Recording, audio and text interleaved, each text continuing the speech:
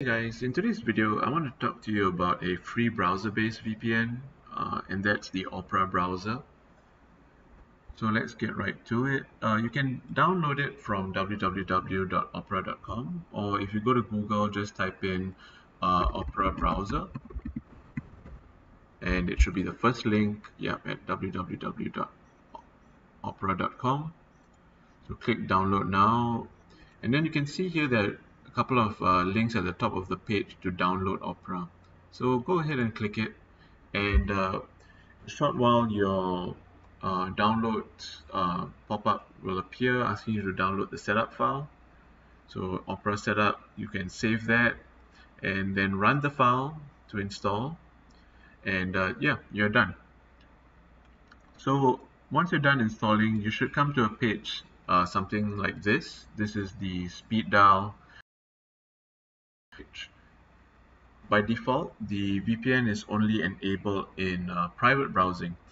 And to open up a private window, you could either right click on the Opera icon in your taskbar, right click, and then uh, new private window. Or my favorite, uh, my preferred method rather is Control Shift N, and then yeah, you have private browsing. So to turn on the VPN, go to your search bar at the top and then on the left you'll see this VPN icon. Uh, click on it.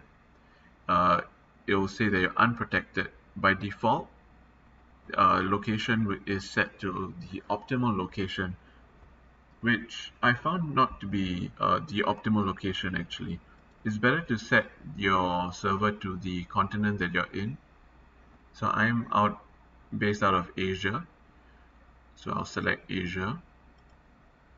And uh, once you're done just select uh, just click on the unprotected the power button here and it'll turn blue. So if everything's okay the VPN icon here will turn blue. If there's an issue it will be yellow in color. Uh, another way you can check is to go to whatismyisp.com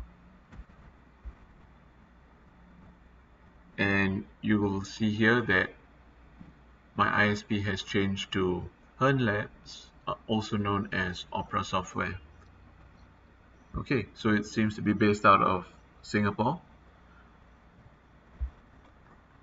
And but the actual servers could be somewhere else, but at least the company is based out of Singapore. Okay, so the other thing that people are concerned when it comes to VPN, other than you know the ISP changing, is the other than the security and the ISP changing, is speed. Does it slow down your connection by a lot?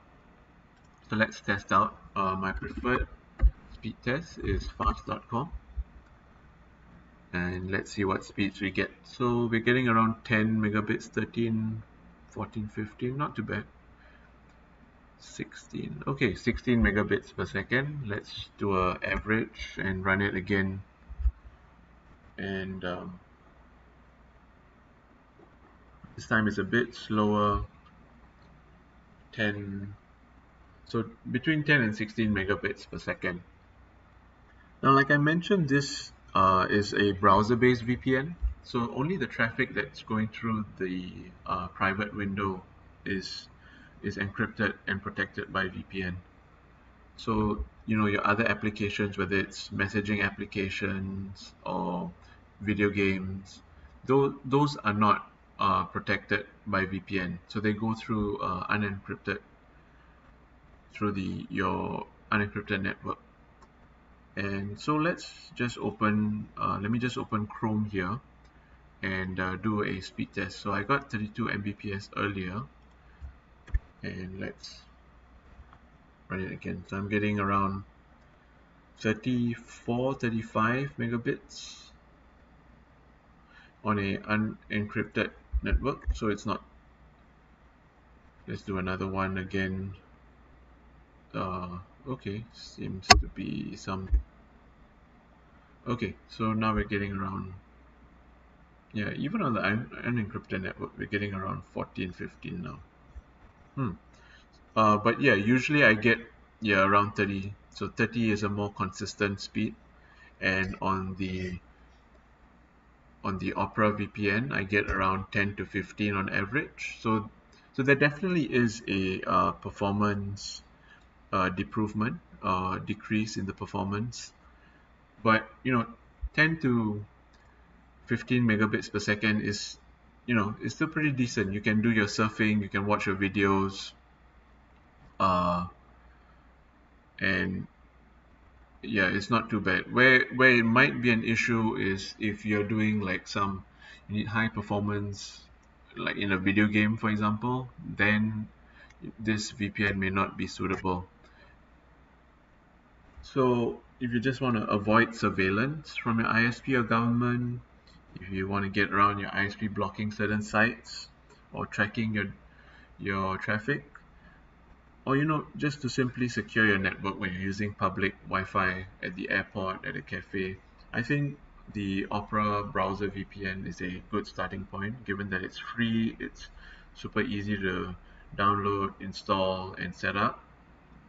And you know the performance is it's not too bad you you get a pretty decent uh, speed for a free VPN so hope you guys found this video useful. Uh, if you've got any comments uh, suggestions please do leave them down in the comments below and I'll get back to you as soon as possible.